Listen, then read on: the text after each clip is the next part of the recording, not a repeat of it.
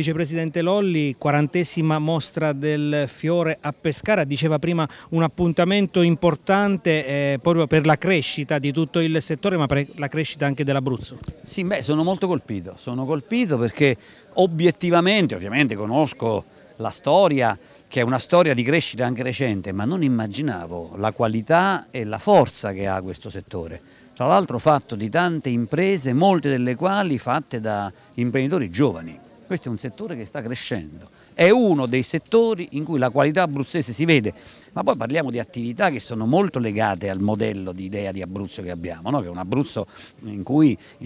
stanno insieme il lavoro, le attività umane e la tutela, la valorizzazione dell'ambiente. Eh, C'è stata una presenza significativa della Regione Abruzzo a questa iniziativa